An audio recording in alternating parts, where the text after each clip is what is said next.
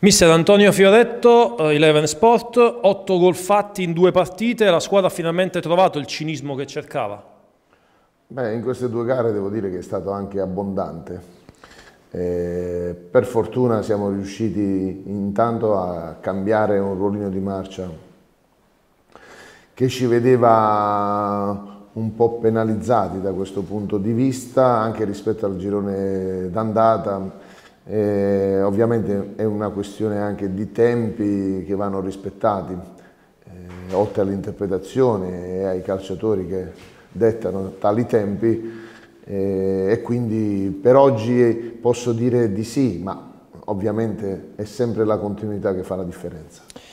Antonio Carlino, Stabia News, mister oggi prestazione perfetta da parte di tutti, sarebbe facile fare il nome di Marotta, ma il ritorno di Orlando dal primo minuto è stato prezioso, come giudica la sua prova? E Orlando e le sue qualità le conosciamo, le abbiamo apprezzate anche in altre situazioni, è un ragazzo che, eh, non lo dico io, ha delle qualità, ma credo che all'interno di questo gruppo vengano esaltate perché c'è una disponibilità ampia da parte di tutti, perché questo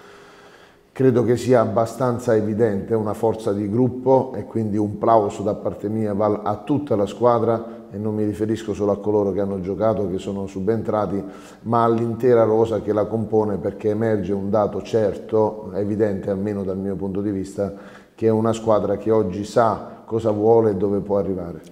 Francesco Maresca, Sport Report Magazine, complimenti per la schiacciante vittoria a suon complimenti per come la US abbia resistito alle pressioni avversarie dopo il rocambolesco gol subito, però come mai è stato designato Lazzari come vice russo e non Farroni? E cosa ha detto al ragazzo nell'intervallo? Intanto perché Lazzari sta da più tempo eh, rispetto anche a una scelta dettata da una condizione psicofisica eh, migliore dal nostro punto di vista e anche perché Farroni veniva, partiva da un gradino sotto, se non eh, due o tre, perché aveva superato da poco una situazione fisica non facile che l'ha tenuto fermo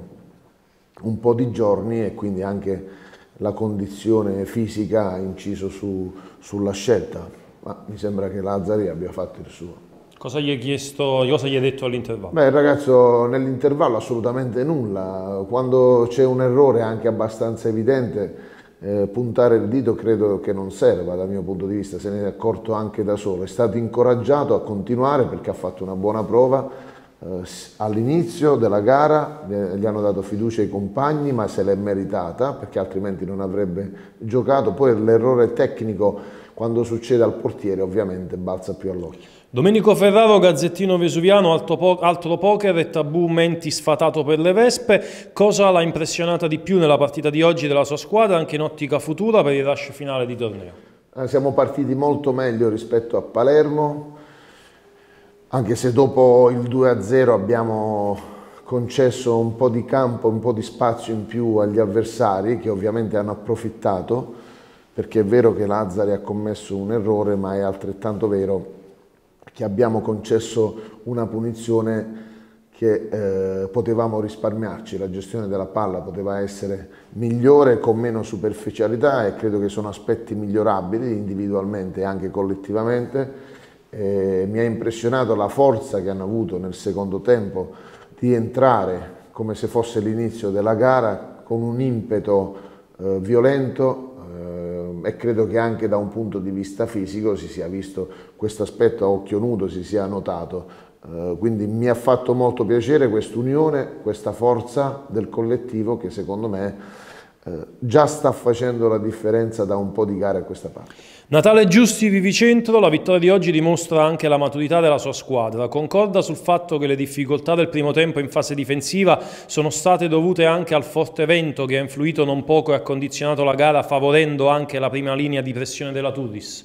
Beh, ovviamente sì, anche per calciare la palla dal, dal fondo per il portiere non era semplice, ma anche per gli stessi calciatori con il vento contrario non era facile quando c'era la necessità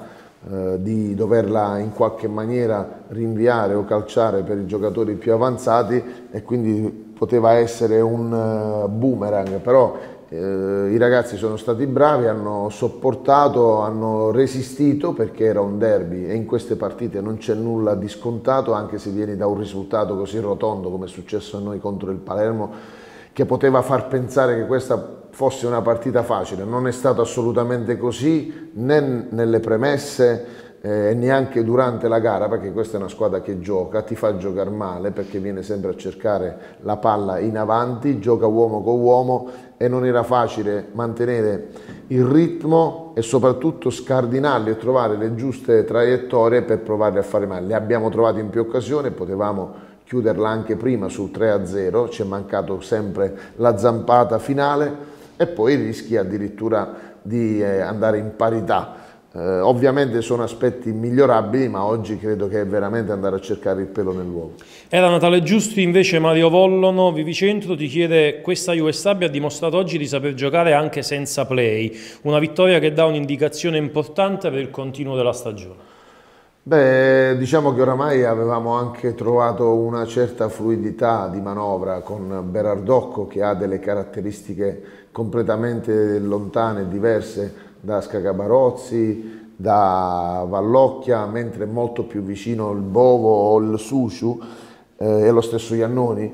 Eh, quindi voglio dire, perdere Berardocco nell'economia di un certo tipo di gioco ovviamente ti lascia un po' di, di, in difficoltà, però devo dire che gli altri due oggi, che anche chi è subentrato, ma lo dice il risultato, ma non solo, soprattutto la prestazione, abbiano ampiamente sopperito a questa assenza, ma dobbiamo avere anche questa capacità di andare oltre l'assenza di un calciatore. Ultima Giuseppe Amato, il resto del calcio, approfittando della linea difensiva molto alta della Turis, la USAB è riuscita spesso a far male con un gioco forse più diretto del solito nella ricerca di Marotta, quasi da regista offensivo, per poi smistare sui compagni in campo aperto. Quanto ha lavorato su questo aspetto nel preparare la sfida?